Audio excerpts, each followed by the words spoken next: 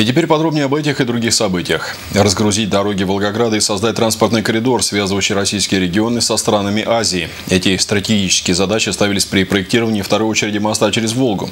Возведение этого объекта началось в 2009 году, но с тех пор дело далеко не продвинулось. Выполнено лишь 20% объема работ.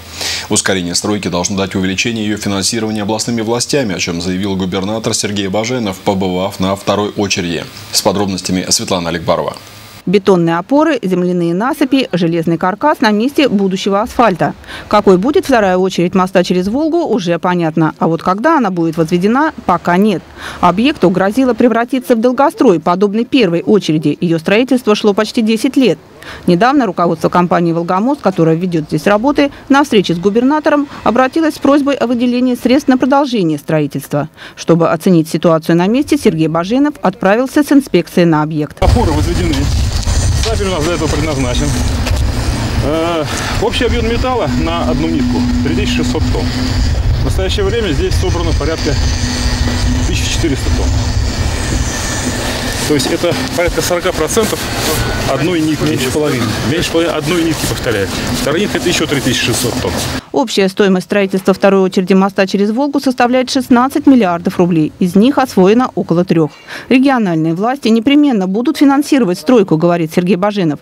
Ведь объект стратегически важный. Эта развязка на Краснослободскую среднюю Ахтубу с последующим выходом на Астраханскую область позволит не только разгрузить транспортный поток, который проходит через областной центр, но и связать Волгоград с рядом близлежащих регионов. С э, пуском моста и всей дороги, всего комплекса, это же не только вторая жизнь за Волжье, это не только, э, скажем так, создание комфортных условий для жителей Волжского и Волгограда, это дает серьезное развитие Волгограду как транспортному узлу. Почему? Потому что это потоки на Казахстан, это потоки на Китай, это потоки с Урала на э, Черноморское побережье. Строители готовы сдать мост в эксплуатацию через три года, но лишь при условии стабильного поступления средств. Пока же работы здесь идут с гораздо меньшей интенсивностью, чем планировалось.